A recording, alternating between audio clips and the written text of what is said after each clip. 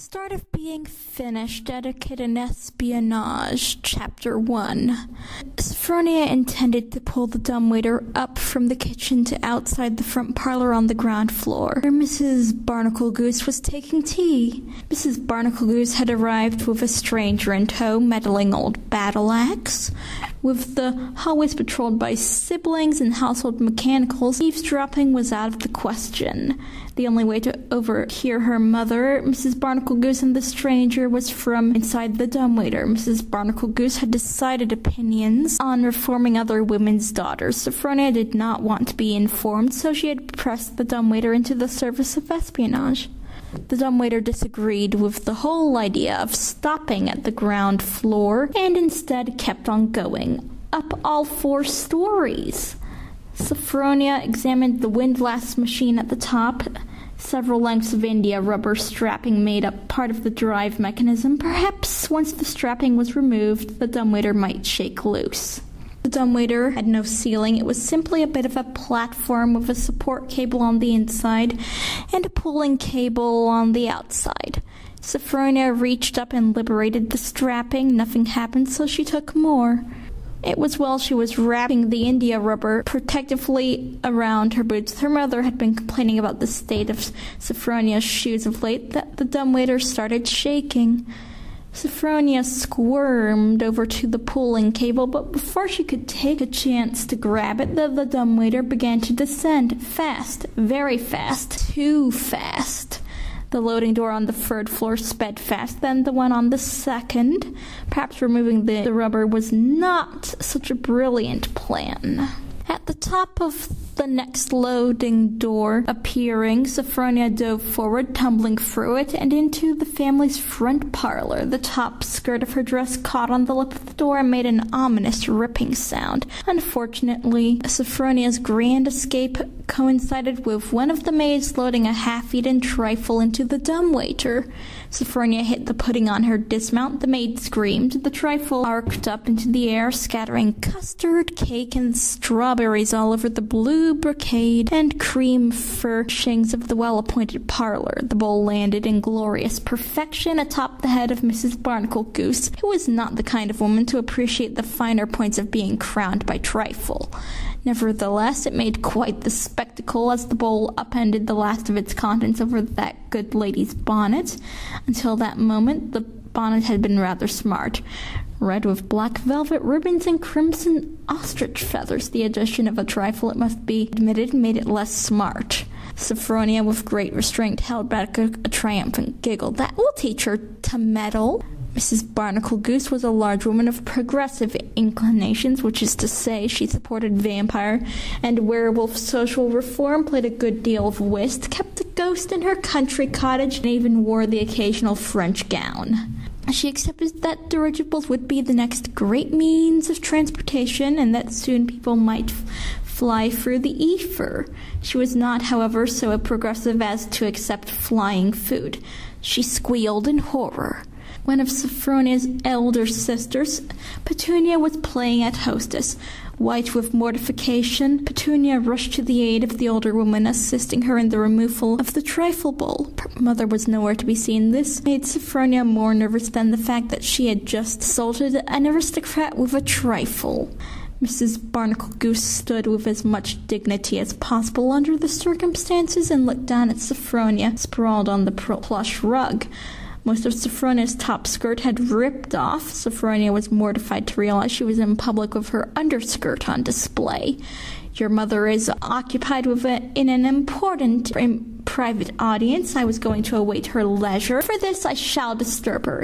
It is 1851, and I believed we lived in a civilized world, yet you are as bad as a rampaging werewolf, young miss, and someone must take action. Mrs. Barnaclegoose made it sound as though Sophronia alone were responsible for the disreputable state of the entire British Empire. Without allowing Sophronia a, re- a rebuttal, the, the lady waddled from the room, a plop of custard trailing down her fluffy skirts. Sophronia flopped over onto her back with a sigh. She should check herself for injuries or to see to finding the rest of her dress, but flopping was more dramatic. She closed her eyes and contemplated the the possible recriminations soon to emanate from her upset mother. Her musings were interrupted. Sophronia Angelina Temminnick. Uh oh, she cracked a cautious eyelid. Yes, Petunia? How could you? Poor Mrs. Barnaclegoose stepping in as understudy mother today. We have elder sisters. Fantastic. As if I could plan such a thing. Sophronia was a, was annoyed by the childish petulance in her own voice. She was unable to control it when around her sisters. I dare say you would if you could. What were you doing inside the dumbwaiter, and why are you lying there in your petticoats with India rubber around your feet? Uh, um, well, you see. Petunia looked inside the open cavity of the dumbwaiter where the remains of Sophronia's skirt dangled merrily. Oh, for goodness sake, Sophronia, you've been climbing again. What are you, a ten year old apple boy? Actually, I'm right in the middle of a recovery period. Some of you wouldn't mind shoving off until I'm finished. I'd appreciate it.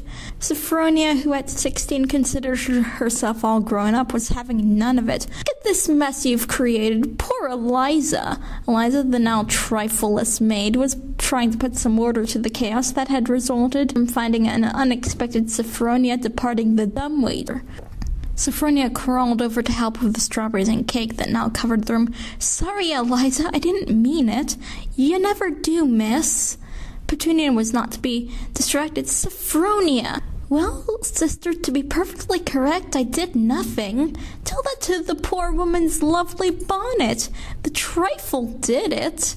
Petunia's perfect rosebud pout twisted into a grimace that might have been an attempt to hide a smile. Really, Sophronia, you're 14 years old and simply unfit for public consumption. I refuse to have you at my coming out ball. You'll do something dreadful like spill the punch on the only nice looking boy there. I would never. Oh, yes, you would. No, I wouldn't. Besides which, we don't happen to be acquainted with, with any nice looking boys. Petunia ignored that jibe. Must you be so tiresome? It's always something. She looks smug, although I believe Mumsy has finally determined what to do with you. She has? Do? Do what? What's going on? Mumsy is indenturing you to the vampires for a proper education. You're old enough now for them to actually want you. Soon you'll be putting your hair up. What else are we to do with you? You're even starting to get decolletage. Sophronia blushed with embarrassment at the very mention of such a thing, but started, but managed to s- a sputtered test of, she never, oh yes, who do you think she's talking to right now? Why do you think it's such a secret meeting? Vampires are like that. Mumsy had, of course, made the threat when any of the Temminnick children were being particularly wayward, but never would Sophronia believe such a thing actually possible. But it's tea. Vampires can't be here. They can't go out in daylight. Everyone knows that. Petunia in her Petunia-ish way dismissed this defense with a careless flap of one hand. You think they would send a real vampire for the likes of you? Oh no, that's a drone Mumsy is talking with. I would they're drawing up the papers of servitude right now, but I don't want to be a vampire drone. Sophronia winced. They'll suck my blood and make me wear only the very latest fashions. Petunia nodded in an I know more than you manner that was highly aggravating. Yes, yes, they will. Frowbritcher, the butler, appeared in the doorway. He paused on the threshold while his rollers transferred to the parlor tracks. He was the very latest in domestic mechanicals, about the size and shape of a daphne bush. He trundled over and looked down his beaky nasal protuberance at Sophronia. His eyes were jet colored circles of perpetual disapproval. Miss Sophronia, your mother wishes to see you. His voice emanating from a music box device deep inside his metal body was tinny and grainy. Sophronia sighed. Is she sending me to the vampires? Petunia wrinkled her nose. I suppose there is a possibility they won't take you. I mean to say, Sophronia, the way you dress. The butler only repeated without any inflection whatsoever, immediately, miss. Should I make for the stable? Sophronia asked. Oh, do grow up, said Petunia in disgust, so I can be a puffed up poodle faker like you. As though growing up were something one could do contagiously, caught up through associating with officious older sisters. Sophronia trailed after Frowbritcher, nervously brushing her custard-covered hands against her apron. She hoped the pinafore would hide the disreputable, well-absent state of her skirt. The butler rolled down the hall, leading to her father's library. An elaborate tea service was arranged there, including lace tablecloths, sponge cake, and the family's very best china. This was far more effort than was ever spent on Mrs. Barnaclegoose. Across from Sophronia's mother, sipping tea, sat an elegant lady wearing a sour expression and a large hat.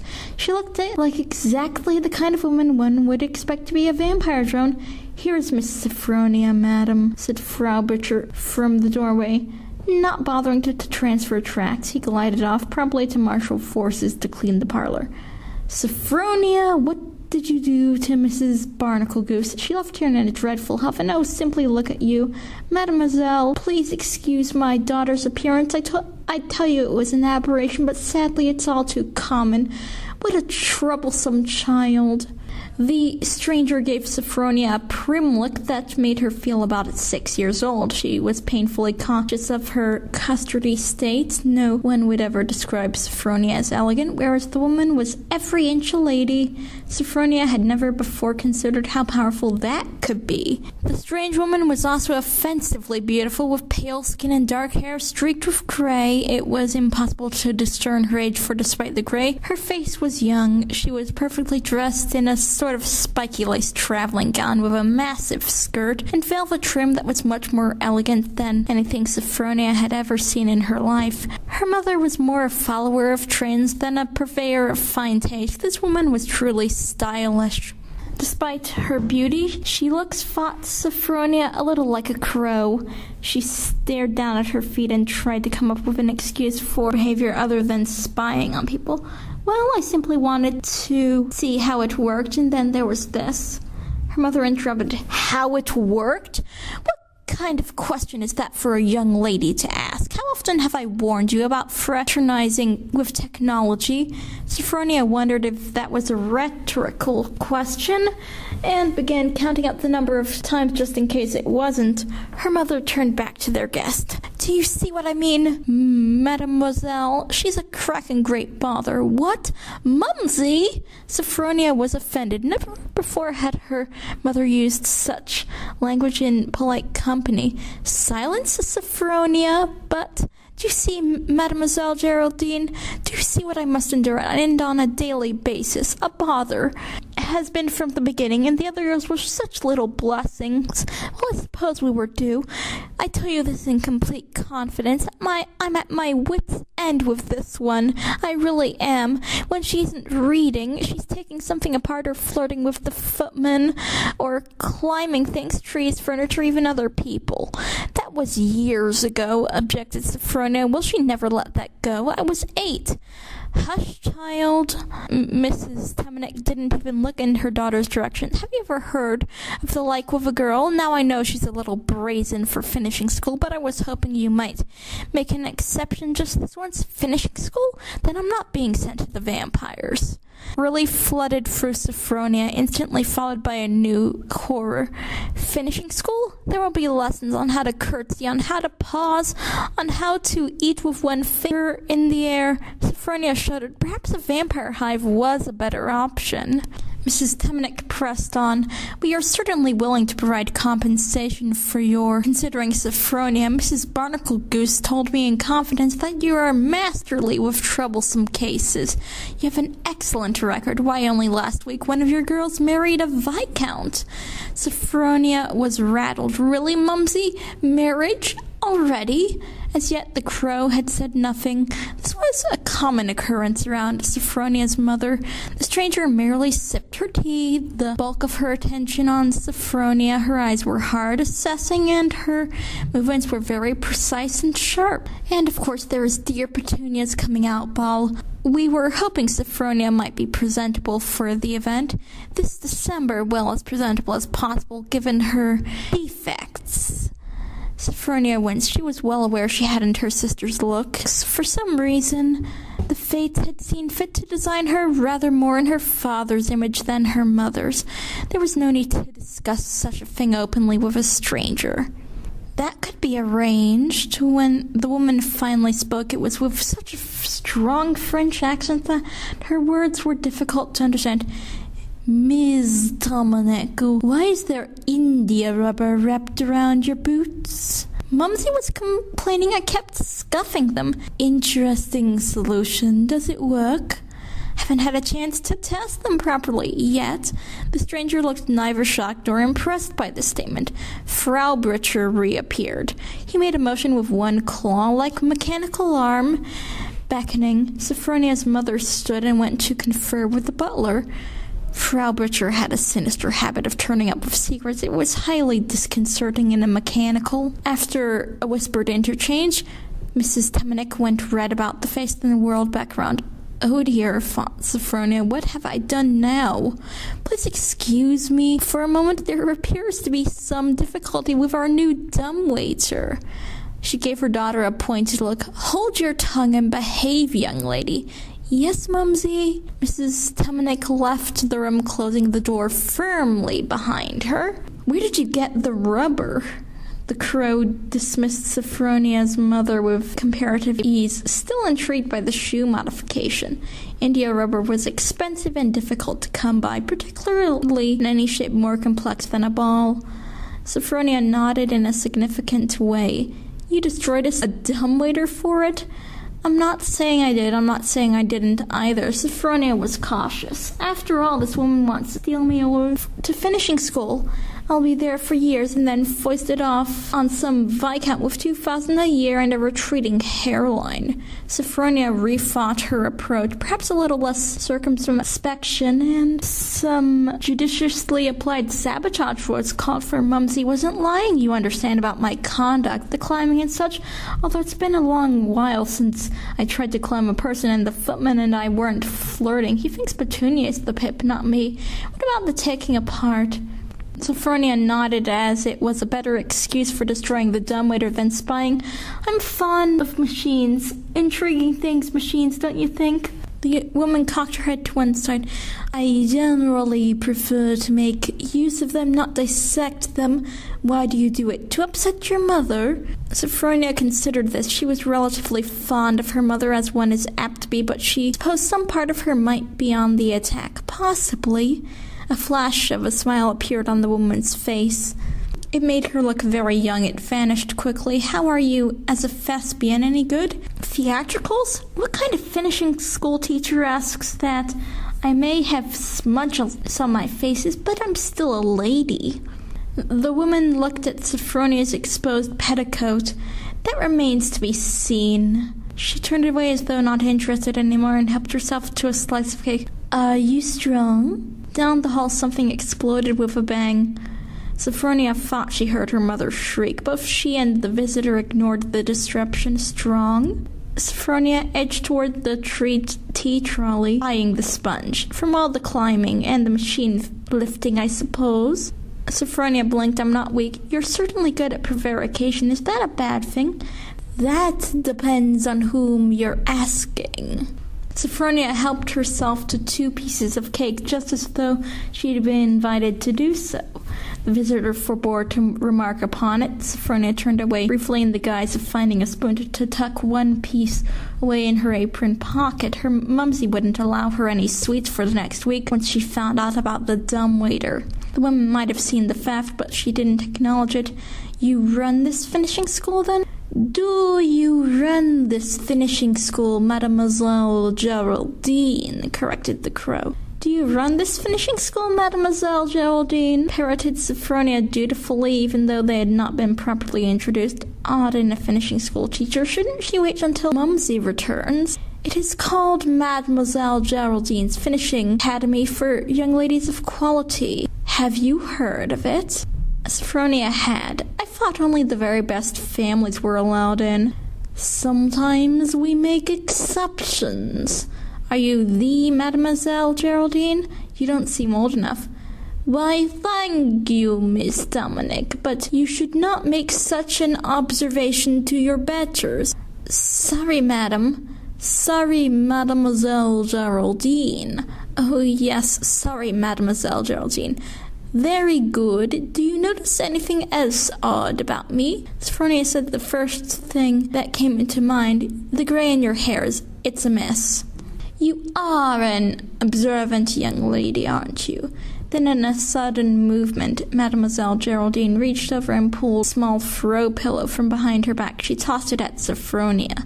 Sophronia, who had never before had a lady throw a pillow at her, was flabbergasted, but caught it adequate reflexes, said Mademoiselle Geraldine, wiggling her fingers for the return of the pillow. Bemused, Sophronia handed it back to her. Why? A black gloved hand was raised against any further questions. Mrs. Temminnick returned at that juncture. I do apologize. How incurably rude of me. I can't comprehend what has happened to the dumbwaiter. It's making the most awful racket. You don't want to hear of such piddling domestic trifles. She put a great deal of emphasis on the word trifles. Sophronia grimaced. Mrs. Temminnick sat down, rubbing at a grease spot on her formerly impeccable gloves. How are you and Sophronia getting on? Mademoiselle Geraldine said, Quite well. The young lady was just telling me of some history book she was recently reading. What was the subject? She doesn't want Mumsy to know she's been throwing pillows at me. Sophronia was never one to let anyone down when fibs were required.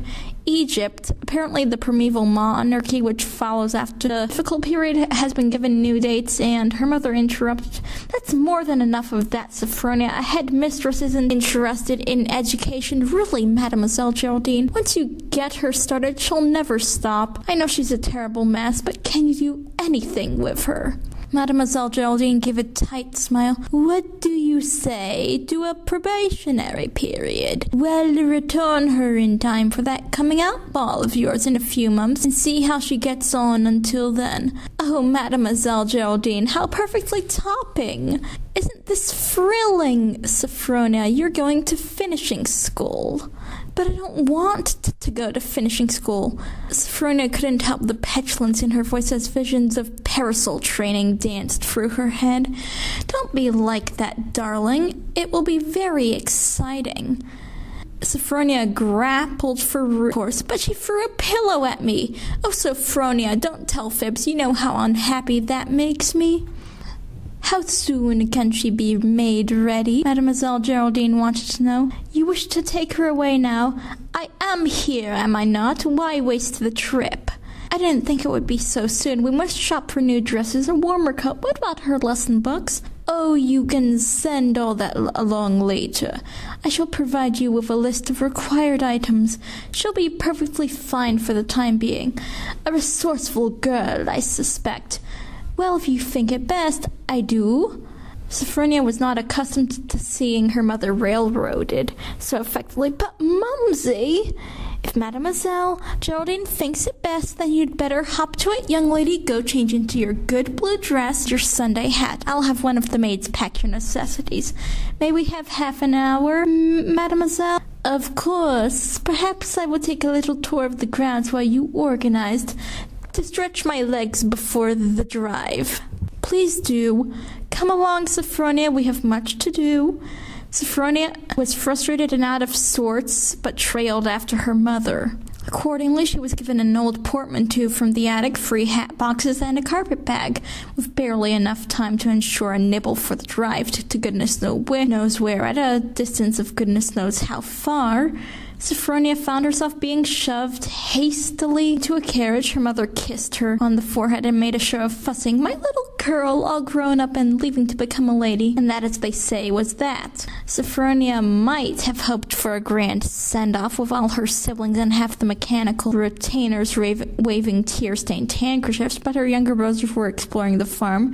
Her older ones were away at Eton. Her sisters were busy with fripperies or marriage, possibly one and the same, and the mechanicals were trundling about their daily tasks. She thought she spotted Roger the stable lad waving his cap from the hayloft, but, but apart from that, even her mother gave only a perfunctory waggle of her fingertips before returning to the house. So ends part one.